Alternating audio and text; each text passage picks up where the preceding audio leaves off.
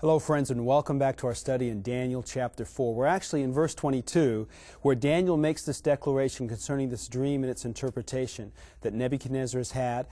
It is thou, O king. In other words, we've seen here, Ty, that Daniel has been reluctant to, to, to give the interpretation of this dream to Nebuchadnezzar because he is wanting to reach the heart of the king and he knows that it's going to be difficult for the king mm-hmm. to receive this assessment of himself. Mm-hmm. He's going to be this mighty tree that's been cut down by these watchers. He's going to be this mighty kingdom that is going to lose all of his respect and all of his honor for seven years. He's going to be like a wild man eating, eating, eating grass in the field.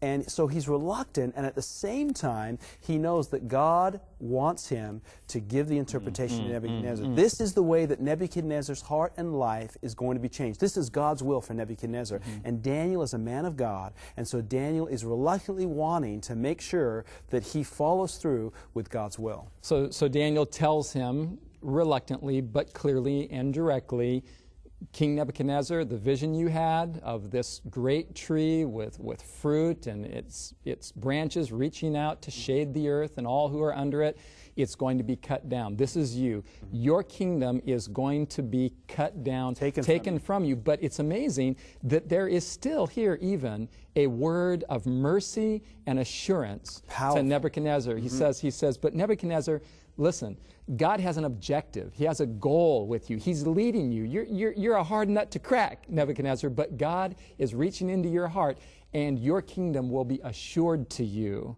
when you come to the realization that the Most High God rules in the affairs of men.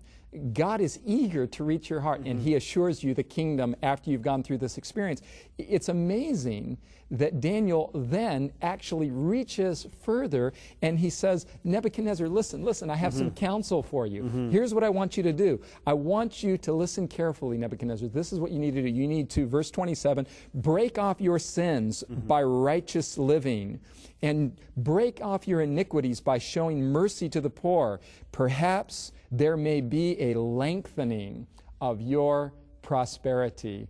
Daniel Powerful. doesn't want Nebuchadnezzar to experience this, this horrific judgment that mm-hmm. the dream says is going to come upon him. And, and he's giving good counsel here. He's Turn from your counsel. sins. In fact, he's giving counsel that's the exact opposite of what it means to live in pride. Mm. Pride lives for self. Pride glorifies self. Pride embellishes self. Pride builds up and strengthens self's kingdom.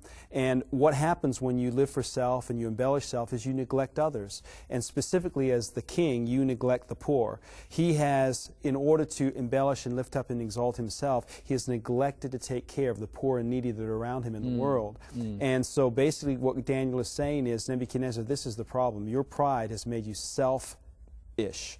And selfishness is the essence of sin. Yes. And you can break away from this selfishness by extending mercy to those around you. And he does. It seems like it works for a while. Mm-hmm. Nebuchadnezzar, for a year, lives in tranquility. It seems like he follows um, Daniel's advice, Daniel's counsel. I mean, to some degree, but then there's obviously uh, a very clear indication that even to this point, after receiving his second vision, mm-hmm. clear interpretations from Daniel, God's prophet, still Nebuchadnezzar is not converted at the depths of his heart. And he says in verse 30, he's walking around. This is like a year later after receiving the vision and the interpretation.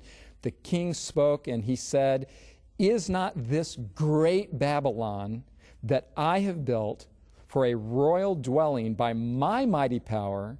And for the honor of my majesty. Isn't that what's going on here? That's what he's thinking in his mind. I did this. This is, I am, I'm it. I'm mm-hmm. the king, and I did all of this for my glory. This is a clear verification that God's method is the best method to reach Nebuchadnezzar.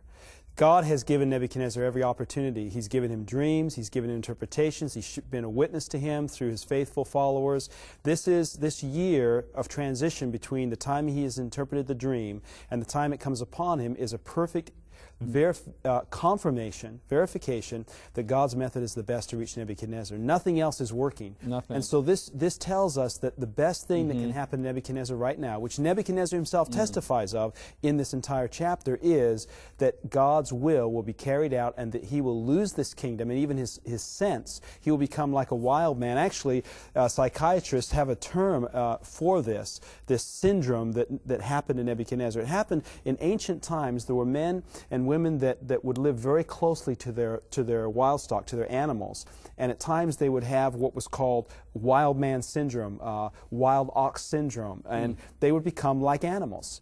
And they're, they're thinking that this is probably what God allowed to happen to Nebuchadnezzar. Mm. He became like an ox. Yeah. He lost his sense. He lost his ability to rule. Mm. Everyone forsook him. Everyone left him. He was eating grass. He was crazy. He wasn't taking care of himself. He wasn't cutting his hair. He wasn't cleaning his nails. He wasn't doing anything. Yes. Everyone left him, Ty, except for one person. Mm, the band around the tree tells us that when everyone else leaves us, God is still there. God never leaves us, Hebrews 13:5, and he never forsakes us. And God was with Nebuchadnezzar. As we pointed out in previous programs on the book of Daniel, even though the book of Daniel is generally thought of as a book of end time prophecies, and that's there and it's a vital truth, there's something else happening in the book of Daniel, mm-hmm. and that is the story of God relentlessly pursuing King Nebuchadnezzar to bring him to himself in eternal salvation. It's amazing Amen. that this God of heaven has such an eye of, of singular mercy for Nebuchadnezzar. He is focused on this king and bringing him to himself. And I love it because as he goes through this great trial, as, as all of his lords and, and all of the, the, even his family leave him, mm. it says that at the end, verse 34, at the end of the days, I, Nebuchadnezzar, lifted up my eyes to heaven. And it doesn't matter who we are, it doesn't matter where we are, it doesn't matter what we've been through. If we lift our eyes up to heaven, heaven responds. Amen. God responds. And as Nebuchadnezzar lifts up his eyes to heaven, in that moment it says, his understanding returned to him, and he blessed the Most High. He praised and honored him that lived forever and ever, whose dominion is an everlasting dominion, and his kingdom is from generation to generation. Instantaneous here. Nebuchadnezzar turns to God, he lifts his eyes to God, Yeah, and yeah. he praises and blesses God because God brings uh, a returning of his understanding. What we see here, we see here that self-centeredness and, and arrogance and self-exaltation is the precursor to insanity. And it's really, as you've said, it's the essence of the sin problem. Self-centeredness is. Uh, and then we see that the moment that Nebuchadnezzar turns his heart to the Lord and exalts the God of heaven, his sanity returns to him. He's in his right mind again. After seven years, mm-hmm. seven years of living in this very low, horrible state of mind, and just with no doubt uh, self incriminations and guilt driving him mm-hmm. to insanity, the moment Nebuchadnezzar lifts his eyes to the God of heaven. His sanity returns to him. Mm-hmm. And this is what sanity looks like, James. Sanity is a recognition of God's position in our life and in the universe as the Most High God, the one whose kingdom is eternal and will go on and on forever, and that, that we are, as it were, nothing by comparison to God, and yet when we find refuge in Him, He lifts us up to all that we truly should be and can be. And, and what's really interesting about this is Nebuchadnezzar has had this transformation where he recognizes what is significant and what is secondary. Hmm. And what he does in verse 35 is he makes this declaration that is powerful and important for us today. He says, And all the inhabitants of the earth are reputed as nothing. He does according to his will in the army of heaven and among the inhabitants of the earth, and none can stop him or stop his hand or say unto him, What are you doing? Right. Now, it's really important for us to understand what's going on here. Nebuchadnezzar is prioritizing what's the most important and what's secondary. Before this conversion, what was most important was his kingdom, his lords, his counselors, his position in society, his influence politically, and his kingship. Now, what's important is his relationship with God. Right. And everything else is secondary. Everything else is mm-hmm. reputed as nothing in comparison to that. And once you have a right relationship with mm. God, Nebuchadnezzar is saying, once your understanding returns and you recognize and bless and praise God first and foremost, all this other stuff is secondary. Hmm. And, it, and it comes, verse 35, at the same time, my reason returned, and, and the glory of my kingdom, and my honor, and my brightness returned, and my counselors and my lords sought unto me, and I was established in my kingdom, and excellent majesty was added unto me. All of that has a place, hmm. but it's all secondary. Yes. And what we do in this life often is we make all of that first. That's the mo- our influence, our position, our, our, our economic status all comes before God. And this is what Nebuchadnezzar was doing. And ultimately, when we do that, we neglect the real issues of life, taking care of other people and putting other people first, and we become first.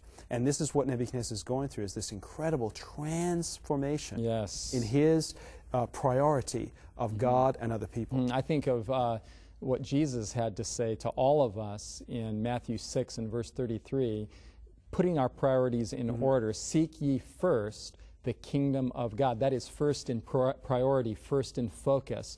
Seek ye first the kingdom of God and his righteousness, mm-hmm. and all these things shall be added unto you. All the these things that Jesus was referring to is the material blessings of life. These material blessings are secondary, and that's in God's power to provide, and we need to leave that to his charge Yes. and put our focus on living for God and seeking his righteousness. And that's a faith venture. I mean, mm. that is a faith venture to be able to lay aside because we need mm. these things that we have in life to survive, to sustain us. We need these things. We have a family, if we have children, we need clothes and we need food. It is a faith venture to say, but I'm going to make that secondary and I'm going to put God first. What happens if you don't do that is those things will consume you and God will be nowhere to be found. And then he asks this question in verse 35 No one can say to God, What are you doing?